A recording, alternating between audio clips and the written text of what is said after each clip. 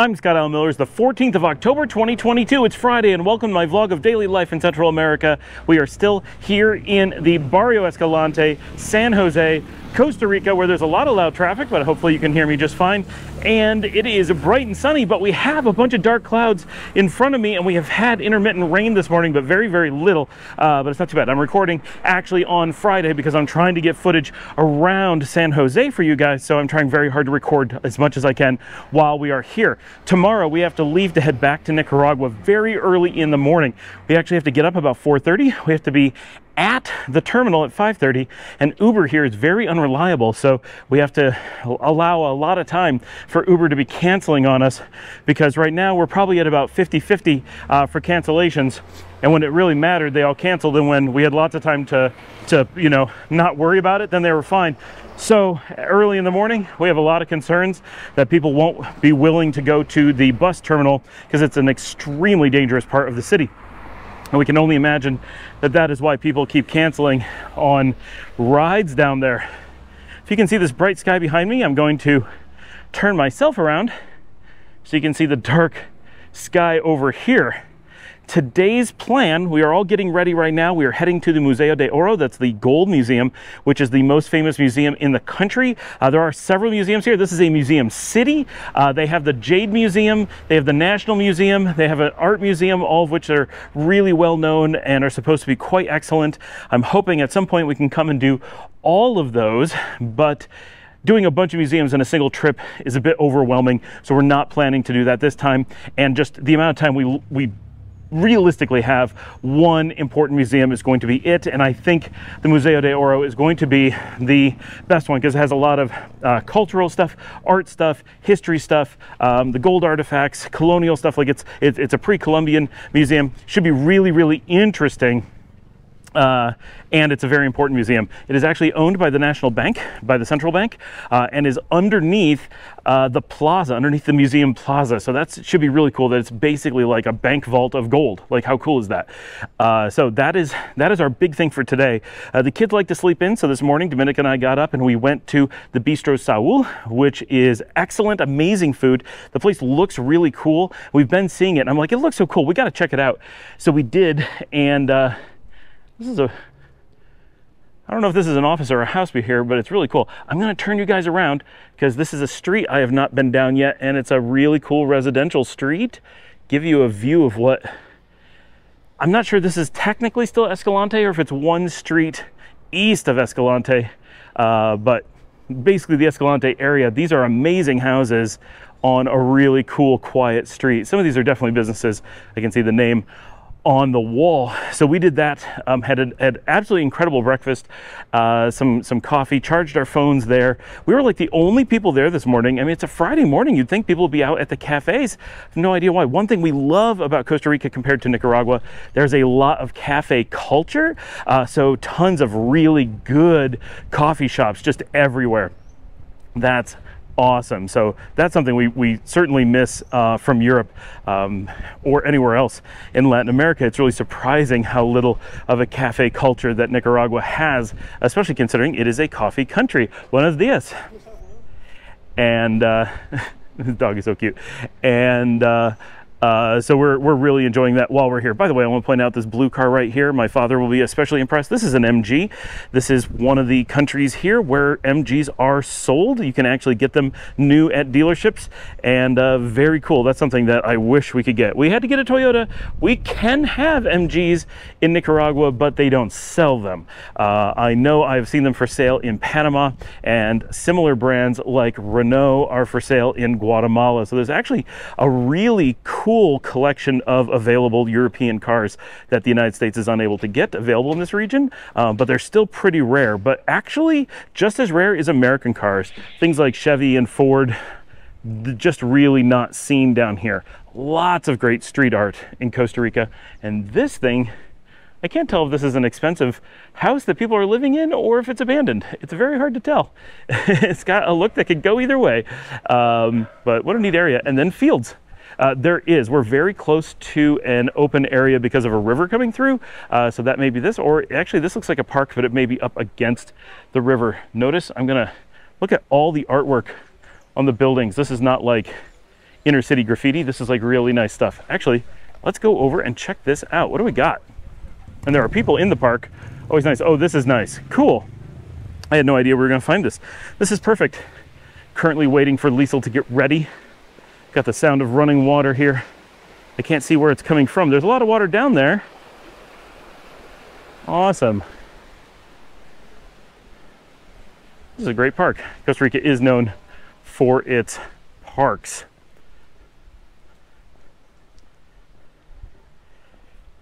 So right now the kids are getting ready and uh, buenos dias. And as soon as they are set, we are heading out to a creperie because Luciana is requesting waffles this morning. Yeah, all this art all along this building. This is great, really good color. And uh, we're gonna do that and then off to the museum. I'm not taking the GoPro with me to the museum this morning. Uh, we've heard that, I mean, first of all, it's a museum. What am I going to do? Walk around with a GoPro? It would be nice to get some footage for you guys, but uh, it's a little bit awkward being in a museum with a GoPro. And uh, it's very hard to get anything because it's dark and it's kind of interrupting to other people potentially. It's just awkward. Um, but we've heard that there's very high security at the Gold Museum because it's a gold museum. And so uh, you can't bring very much in. So I'm going to bring the iPhone with me, but that is all that I'm going to have. And this park continues across the street. I'm just going a little ways. Just want to see what this is about. This is a nice little park. I have to say, a couple days here, and we are very impressed with San Jose. It is much warmer this morning than it has been. I don't know the temperature, but I bet uh, it's two or three degrees warmer than we have seen since we've been here. The sun is definitely intense. And uh, I think we're going to go up here and see where it goes. Yeah, so uh, going to do breakfast with the kids. Um, and uh, while we're doing that, I will leave the GoPro uploading because it is a huge, huge struggle to upload. I did some measurements yesterday and had a conversation with the owner of the hotel and uh, definitely, of course, they don't believe it. No one believes that Nicaragua has better internet even when their own speeds are horrible. Uh, but I talked to him about it here, about how slow the internet is and how impactful it is that, that you know, we really notice the moment you try to do anything. Sure, if you're just trying to watch Netflix and no one else needs to use the internet, you're fine. But the moment anyone else needs to use it, you notice that it is asynchronous everywhere here in Costa Rica. In Nicaragua, nearly everything is synchronous, meaning the same speed up as down. So when we say it's fast, we always talk about the up speed. Everyone's fast on download, but some places are fast on upload and that's what really matters these are some beautiful houses here in the park i don't know if you can see them i'm going to stop for a second so it makes it easier to upload we'll be right back in just a second here from this gorgeous park here in San Jose. Also a great excuse for me to catch my breath a little bit as we continue on because when I walk and talk this much, it is hard to stay with enough air to keep talking. Ooh, we're getting a little bit of shade now. It's getting comfortable. This is a, I, I like this park. I can't figure out like what it's supposed to be. Just kind of a little green connector between neighborhoods, but it's quite nice, quite nice. Living along this would be an excellent spot in the city. These really are great urban environments. That's Costa Rica seems to have a pretty good urban design going on with its one big city. So um, when you when you're worrying about internet, uh, most people at home think about, well, we got to have Netflix, what's our download? And they only want one number because they want life to be simple, but the, the world doesn't work that way. And I've talked about this before, but here you really notice that in Nicaragua, typical speeds are for really, really slow internet are 10 by 10, for fast are 50 by 50, and you can get pretty much anything you want. Uh, but, oh, look at this puppy. Buenos dias. Hello, little puppy. Hi. Oh, you're famous now. and uh, oh, more street art along these buildings. And uh, so we worry about um, download speed is what we talk about because it's easy, but upload speed typically is what affects us more. And here, uh, apparently it's really easy to get these really big speeds. They do the same thing in, that they do in the US, which is this kind of fake advertising. They give one number with the uh, speeds and say, oh, you're getting 200 mega. Buenos dias. they say like you're getting 200 megs or something like that, and it sounds great. But what they're actually giving you is 200 by 10 or something like that. And all over the US, this is how it works. And I have business customers all over the US, and this is a constant struggle that they can't get faster than 10 or maybe 20 megabits per second upload. And upload is what really matters. Everybody has fast download, and typically you don't download actually all that much. You feel like you do because of things like Netflix or YouTube, but those tend to be a steady stream of a moderate amount. So you actually don't need as much as anyone tells you. But what you do need is fast upload for a number of things, especially if you have content creators. But you have to have enough speed in both directions for things to work. You can't have only one. So in Nicaragua, our fast locations are typically 50 by 50. Here, what they consider fast is like 150 or 200 by 10. That feels fast as long as the only thing you're doing is surfing the web and downloading videos, which a lot of people do, and that works fine. But in a hotel setting, or a business setting, or a content creator setting, like me at home, I need to be able to upload videos for you guys. Well, when you have a connection speed of only 8 megabits upload, it only takes plugging in the GoPro. It doesn't take me doing anything. No editing, no work, no anything.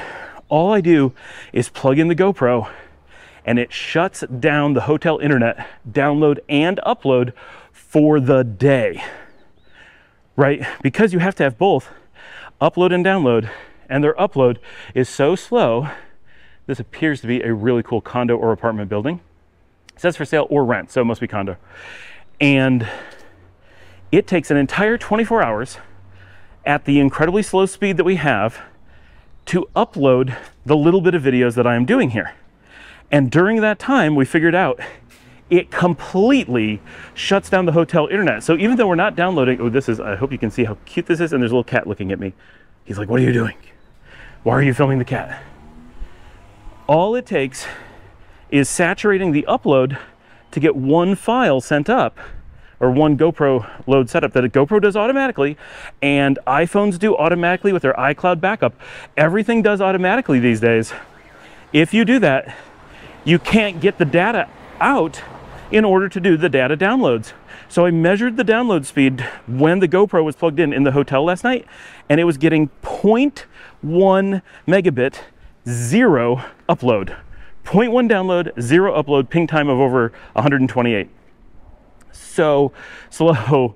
And if you were in a hotel in Nicaragua, it would upload much faster and not be saturated, and the download would still work fine the gap in performance between Nicaragua and Costa Rican internet is crazy. Now I realize that's just one hotel, but I talked to the hotel owner and he said, get the same speed up and down. That's not a real thing. You can't do that. He, it's so rare in Costa Rica. He actually thought it was a physical limitation of internet that it couldn't be done instead of just they get crappy internet in this part of the world. That's how big the gap is in the Nicaragua to Costa Rica performance. In Nicaragua, even people who are getting super cheap internet in Managua for home, the, the, really, really poor internet that's like $35 a month, is synchronous 10 by 10, and it only takes like 40 or $45 before you're at 20 by 20 or something.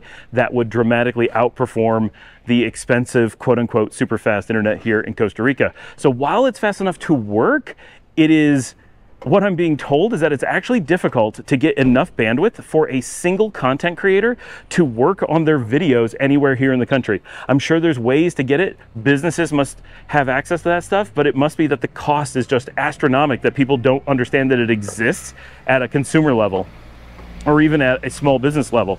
That's crazy. Now, in the US, it's the same thing. So it's not completely surprising because in the US, I have customers, like I said, all over the country, and over half of them do not have access to synchronous internet or high speeds. Um, and, and many of them have issues with reliability. And that we've had here as well. The internet has been out many times uh, while we've been here. So it's noticeable that we've had more outages in four days in Costa Rica than we have in a year in Nicaragua. And it's not been like during a storm or anything, it's just just everyday uh, normal weather, normal use, it apparently just goes up and down a little bit. Not a ton, it hasn't been bad, I'm not complaining. It's just really amazing coming to a place that is so much richer and that everyone is so sure must be so much better than Nicaragua, and it's got a lot of great things going for it. I'm really liking Costa Rica. I'm really liking San Jose. Really loving this neighborhood. This uh, Escalante is fantastic. I found out that Time Out magazine ranks it the 41st best neighborhood on the planet to live in, uh, and I can really see why. I think that that's potentially legit. Um, but it doesn't have the technical infrastructure of rural Nicaragua. And that's something people just have such a hard time internalizing and cannot accept. It's it's not just a little bit, it's a lot. The gap is big. So that's that's really interesting just how different that is um, and how hard it is uh, to work on the videos here. If I had to be based here, it would cause real problems to my workflow that I would have a, a struggle to get things uploaded and downloaded. I'd have to have really, really, really extreme internet packages, probably multiple internet packages, um, and and the, the the speeds that they get here on fiber are slower than the speeds we get in Nicaragua on our cell phones. That's that's how big it is, right? We get over 100 meg upload up there uh, uh, when it's really good, and here the really good is 10, right? So it's so different, um, and and that's kind of that's kind of a gauge we use for is it a technical country or a non-technical country? In a technical country, you can't get people with you know only giving them one speed. People understand they need both for things to work, like, and they know that you can deliver it and in a less technical country, it's really easy to, to just simplify things and give the public one number and they'll just accept it. It's just marketing and marketing drives everything.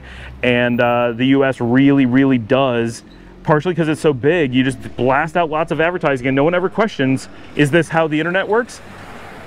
Lots of consumers make it uh, easy to manipulate the public with marketing and that's what they're doing, right?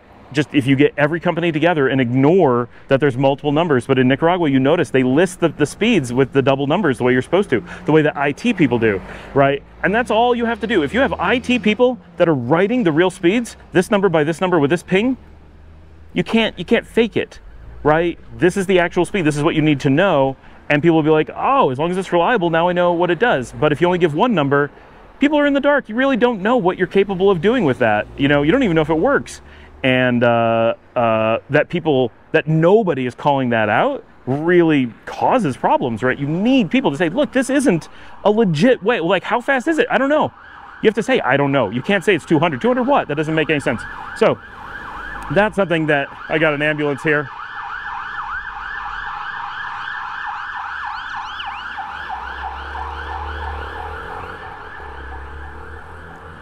That was a little bit loud. So uh, it's just it's just really shocking to me. I was thinking, oh, it's going to be really great internet here too, and it's not bad, but it's like U.S. internet, not like I was hoping for. Right? Guatemala was was closer to, to Nicaragua internet, still not as fast, but much better. Okay, so I'm gonna wrap up here. I'm gonna go start the uploads because it takes all day. Let that upload while we're at the Museo de Oro and uh, hopefully get a little bit of footage for you guys while we're out.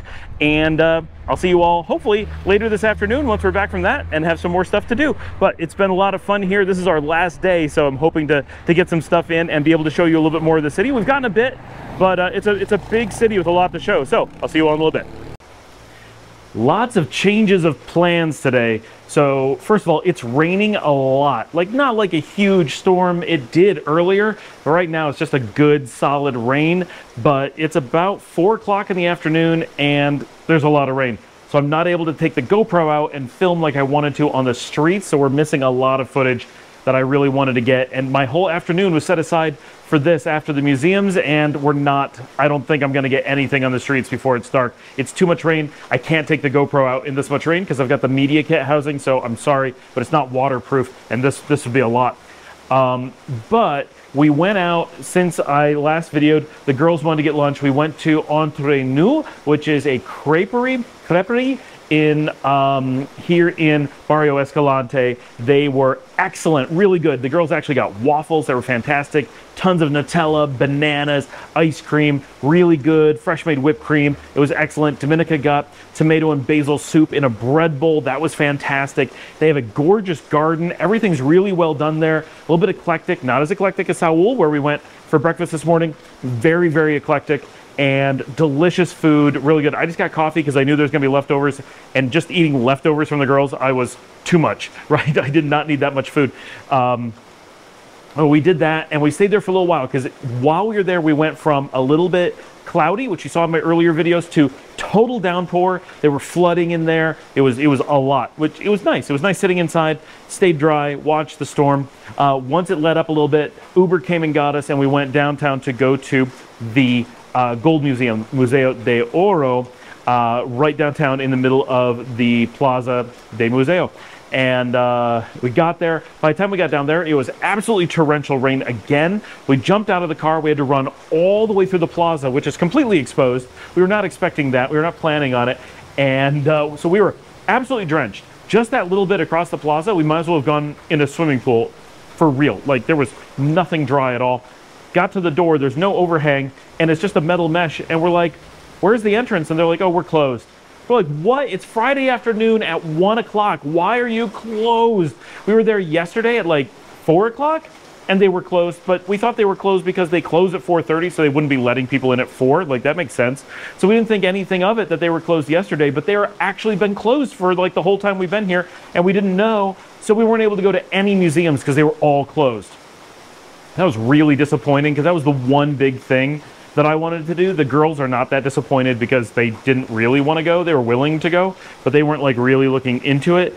But uh, I really was looking forward to it, and I think they would have enjoyed it. So that did not work out great uh, for my planning. So I'm very sad about that.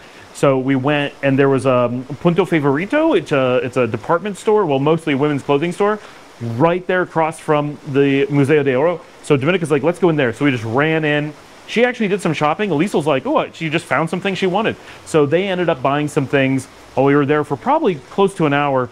Uh, and then when we went to leave, the kids were like, we want to go back to the hostel. And uh, Dominica's like, oh, I kind of wanted to shop. We're like, we'll go back to the hostel. You shop. Like, no problem. So she stayed downtown uh, for the rest of the afternoon and went shopping. We came back by Uber to the hostel to here at the Chill Out uh, in Barrio Escalante and uh, I set up my laptop. I'm going to show you where I've been working.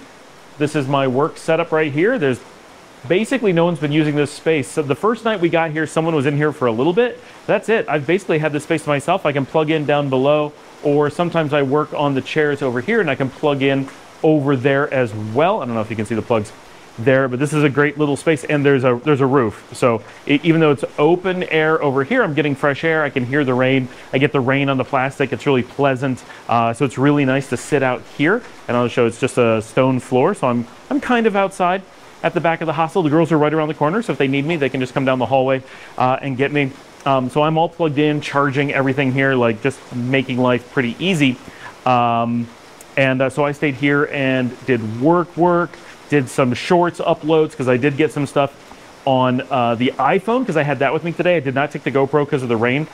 But the whole time we've been back here, I've been just waiting to go out and film for you guys, and the storm has never let up. So that's been our afternoon. The girls are just drawing in the room and relaxing. They want me to go to the fresh market and pick up more of the Dos Pinos salmon dip that they absolutely love. And uh, at this point, it's 4 o'clock, and Dominica just messaged me while I was recording this, said it's cold and rainy and she wants to come back, but Uber's really expensive, so she's just waiting on them. But she's coming back soon, and uh, uh, then at some point, I plan to get the dip, and then we're going to go out for uh, dinner. We think at an Asian restaurant that Paul recommended, but we'll see how everyone feels and how the Uber situation is and all that. We got to get to bed early tonight because we got to be up at about 4:30 in the morning, which I said. So our evening is going to be pretty short, and this is me probably Unfortunately, I had to uh, re record this at the end because uh, the GoPro crashed again, but I kept recording on the screen. Everything looked like it was fine. And when I went to stop the recording, it completely freaked out, and then some of the recording wasn't there. So we're starting to have some significant issues with this GoPro 9. Again, I've had it for years. I use it for hours every day. It gets a lot of abuse.